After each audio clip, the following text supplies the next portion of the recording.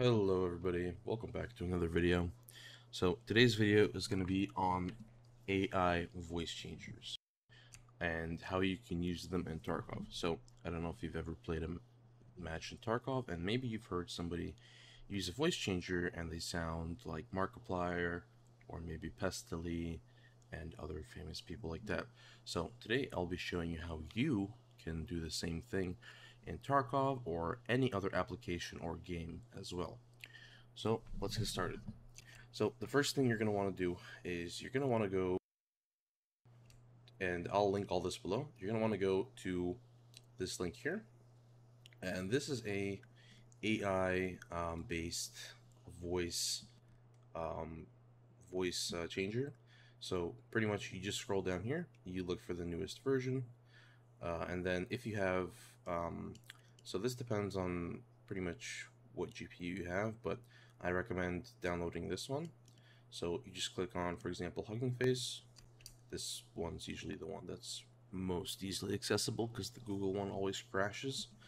And then all you do is you scroll down and you find the newest version. So eight days ago, this is going to be the newest version. And you want to make sure that it says CUDA. So Win ONNX CUDA, not the ML CUDA. You do not want this.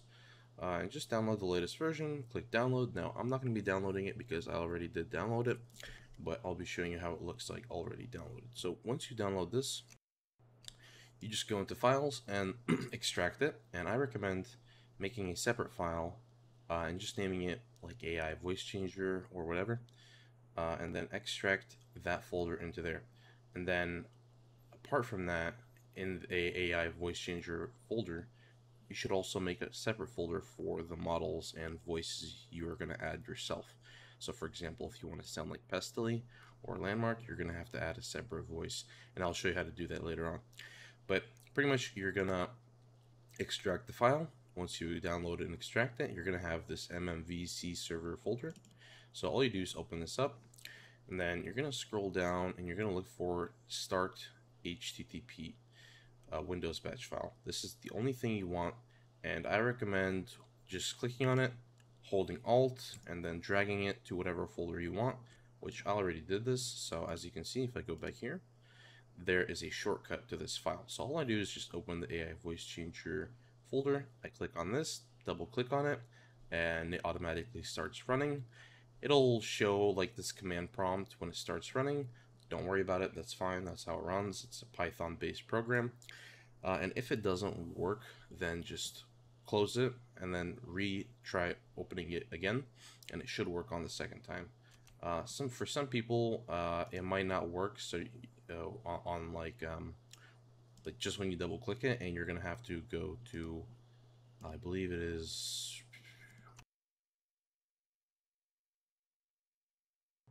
uh, it's pretty much just run file anyway. Um, it's kind of like when you when you can't run the file, but you'll figure it out. Uh, and then once the client opens up, you will see that it looks like this. So uh, it already comes preloaded with these Japanese four models because this is made by a Japanese developer. Uh, these are somewhat decent, but they're not really trained on uh, English voices, so they're going to be a little bit inaccurate. Uh, and then these three I have here are ones I separately downloaded myself. Uh, and they're already pretty trained. Uh, the Markiplier one's also really nice. So I'll show you what it sounds like here in a second. Uh, let me just switch this here.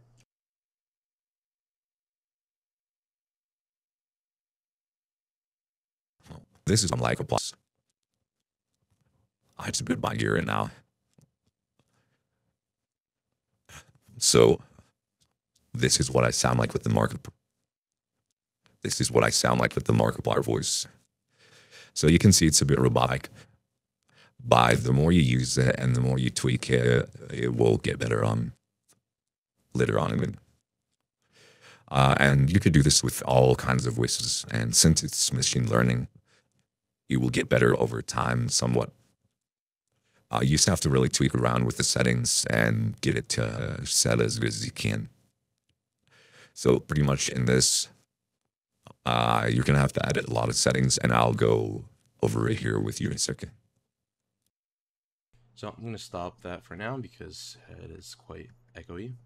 Uh, so pretty much what you're going to be doing here. So for example, let's see, let's say you open this up and all you have is these voice models. So I'll show you what this one sounds like here in a second. So this is what this voice model sounds like. It kind of sounds like a girl, but you can use a little bit of the uh, unrealistic and robotic accent, but it's still pretty good. Uh, especially in voice chat in games. It's a little bit um compressed, so it's hard to tell that it's robotic and sounds pretty realistic. Now I'll stop that for a second and we're going to go over the settings. Now, uh, we're gonna go over the settings here for this. So, uh, pretty much, if you're if you are editing a voice which is high pitched, for example, a girl, you're gonna want to turn the tune up. Now, the tune is gonna be automatically set to zero, uh, and I'll show you what it sounds like at zero. So this is what it sounds like as zero. You can see that it's pretty scuffed. And higher you go, the better sounds.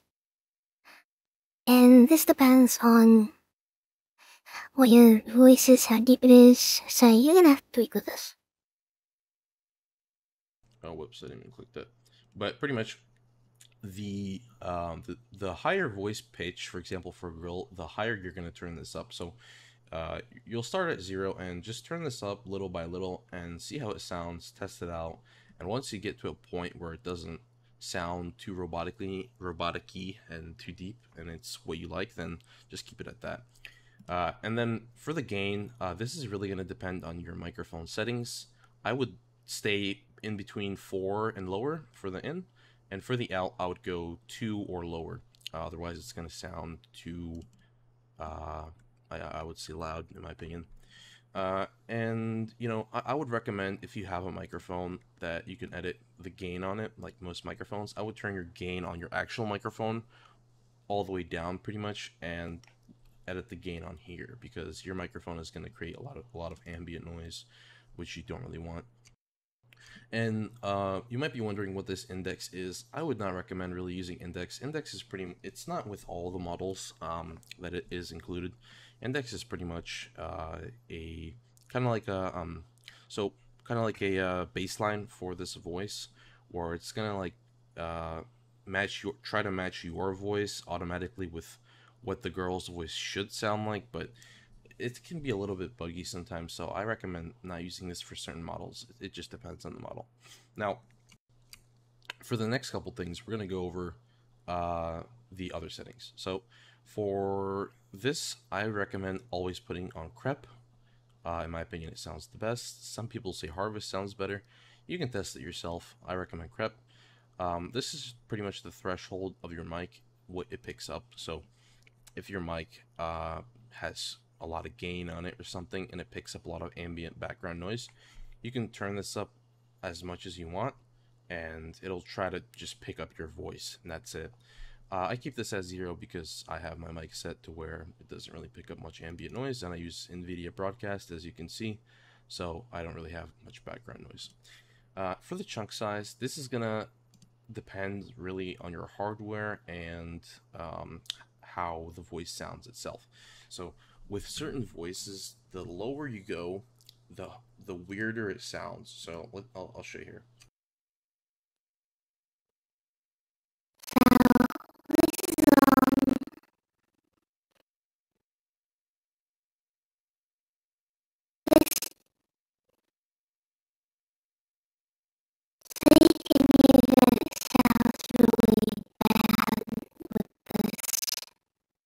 Okay, I think I I think I broke it, but anyways, you get the point. Uh, so for, for, some of these models, the lower you go, uh, the worse sound. Jesus, yeah, it's, it's, it's it broke because I put it on this. So you want to just tweak with, with this. I would say the baseline for most GPUs is around um around 384. This is going to be a thousand milliseconds. It's kind of like half a second of delay. It's not too bad. You just got to get used to it. Uh, but I would recommend anywhere from 128 to uh, to, to, to, to, to 384. So in between here, test these out, um, see how you like it. I personally use 341 because I think it universally sounds the best with most AI models, but it's up to you. Now for extra, this is pretty much however you want to set it. The higher you have it set, the more clear it sounds, but it also uses more GPU power. Uh, so this is up to each person and how they want to set it. You can use it at 4096, you can use it at 131,000. I personally set it to this because I think it sounds the best, but uh, it all, always depends on what your hardware is as well. And for the GPU, it might automatically set it to CPU, so you want to always set this to your GPU, so it uses your GPU, not your CPU, since it will bug a lot if it's on your CPU. Now, in terms of input, um, I'll explain to you how to get it to work in game, and I'll show you that after this. Uh, but pretty much your input, just set your input as whatever microphone you use. So I use a Yeti, but I have it filtered through NVIDIA Broadcast, so I put NVIDIA Broadcast on mine uh, for that. Now, I'll put just put it on your speakers or whatever you use, um, headphones, so you can hear the output and see how you need to tweak it. Now, for advanced settings, I recommend copying this. So the most important thing is just the truncate. Set this to around 300. Sounds the best on it. Don't I would not change any of this. Just keep it as it is. And that's pretty much it for these voices. Uh, and so, for like I was saying, for the tune, uh, if you set this higher, it's going to sound more high pitched, and if you set it lower, it's going to sound deeper. So, for example, if we go to Markiplier, you can see on Markiplier I have it set lower because his voice is deeper than mine. Therefore, I have to set it lower so it sounds more accurate. Now, now let's let's uh, look at how you can get more voice models. As you can see, I have Drake here as well. So to get whatever voice models you want, uh, there is a good Discord channel I will show you. It's called AI Hub. So in this Discord channel, they have all kinds of characters, and uh, most of these are really well trained uh, and they will sound quite well, but some of them are less trained. So all you do is you just go to voice models channel here and you search, for example, I want to find Ranni the Witch from Elden Ring. And boom, they have a Ranni the Witch sound. And you can click on it and it'll show you what it sounds like. Cock and ball torture, CBT, is a sexual activity involving the application of pain or constriction to the penis or testicles. So, yeah, you get the point. Uh, and you can request a model. So if you want, for example, somebody to make a landmark or something from Tarkov, you can say make a landmark from YouTube, and some people will make it. And you can definitely have people commissions. You can like really pay people to make it if you really want. Uh, some people accept cheap prices like five bucks or something. You can do it yourself. Also, you can um, voice train certain models as well, but I'm not going to go over that. That is a whole different topic. Now, so I actually forgot to mention how to download uh, these AI models, so I'll, ex I'll explain here quickly. So all you do is, for example, you want Danny Phantom, you just click on Danny Phantom, uh, you click on this link, download it, and it'll have a folder for or not. For example, Drake folder. It'll be like this when you once once you extract it, or it will just be the files. And all you do is open this. You'll usually have two files, maybe one file sometimes, just the PTH. All you do, go into this, click edit, click upload, select the PTH for the model, and the index for the index, but you don't need the index, you just need the PTH file. And then once you upload it, you just double click, for example, here I don't have an image, you just double click, and then add a JPEG for whatever you want, and that's it. You might be asking, how do I get this to work, for example, in Discord or in games? And we will get to that. So I'll also link this Discord for anybody who wants to uh, download extra models as well. Now, in order to get this to work on Discord and in-game, you have to download this. I'll be also linking this. So once you download this, uh, this is what this is is a virtual, pretty much audio cable. Uh, it's kind of like a VM, which is a virtual machine, but it's a virtual cable. So just download whichever you use, Mac, Windows. Download this and then install it. And once you install it, all you do is just go to virtual microphone and it'll open up like this. This is where your folder will be once you extract it. It'll just look like this and you just open up V cable setup 64 if you have a 64-bit uh, Windows or 32-bit if you have 32-bit and open this up, run it, and install it. And once you install it, you'll see if you go back to the voice uh, app here, you will see that for output, you have cable input VB audio virtual cable. So this is going to add act as a uh, input, right? And then I will have it set here. For example, I want to do Markiplier. I'll have it set here as the output. And then we go back to, for example, Discord. Uh, and then we go to voice and video.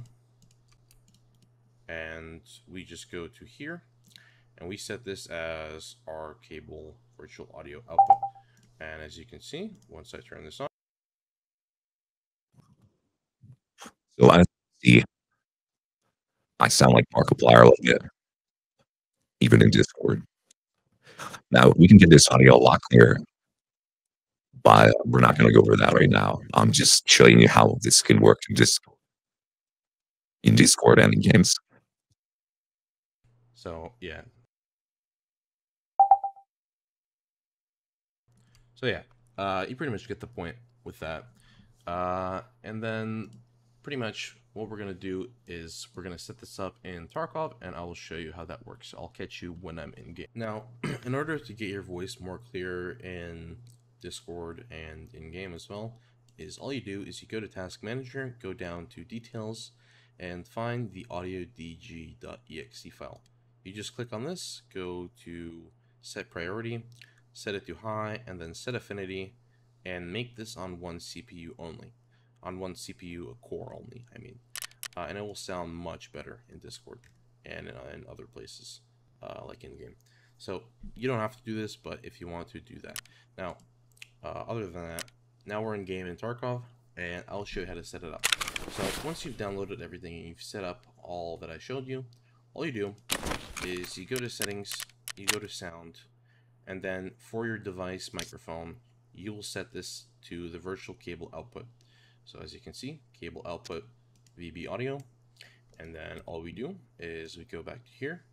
And then once we turn this on, we will, we'll, once we turn this on and set this to the virtual cable input, all we do is once we're in game and we want to have this voice, we click start and we just turn on VoIP and it will automatically work and it will sound like whatever voice you want to sound. So this is pretty much the video, and if you want to troll people and have fun with this, try it out, see it for yourself. Complete. This is completely free. You don't have to pay anything. It is all free and great uh, because it is supported by an awesome community. So that's about it. Uh, if you like this video, please leave a like, subscribe if you want to for more videos like this, and yeah, that's about it. See ya.